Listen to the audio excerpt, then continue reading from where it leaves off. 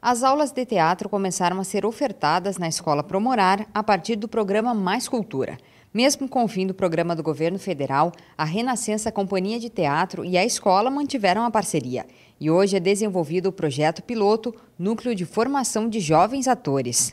Para poder continuar a fomentar também dentro da periferia o trabalho, a arte do teatro, no caso e ao mesmo tempo aproveitando que esses estudantes já tinham toda uma base com a oficina que nós viemos fazendo durante três anos aqui.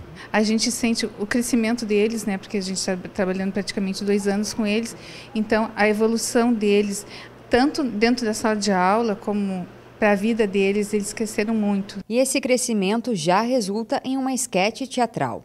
O espetáculo Um Pistoleiro Cabra da Peste, baseado na literatura de cordel de Gaipuã Vieira, foi apresentado no 5 Festival Viamonense de Teatro Estudantil. Fez a estreia lá, apresentando pela primeira vez, tanto fora da escola como fora de Montenegro.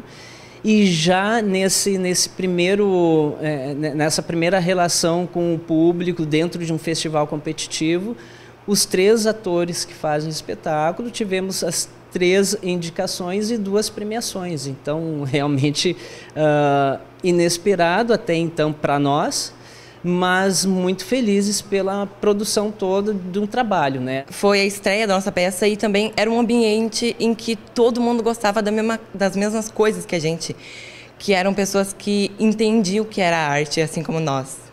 Foi uma grande novidade porque eu sou bem envergonhada e porque foi bem inesperado.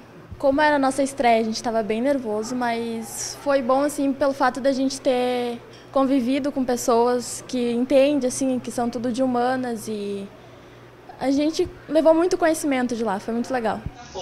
O que ele teve aqui? Como é que eu não percebi? Tu não te lembra? Pedacinho de mau caminho. Mas como é que eu não tem o lado positivo sempre, porque isso ajudou muito ela na em concentração, a, na escola, na, em casa, a vida dela social e responsabilidade também. Eu achei uma coisa muito boa esse projeto da escola. Para nós a gente ficou muito feliz por toda a repercussão que o festival teve nessa relação com eles, de verificarem como eles procediam não só no espetáculo, mas sim ah, até na organização dos materiais, na postura dentro de todo o, o festival, junto com outros grupos. Ah, não vai?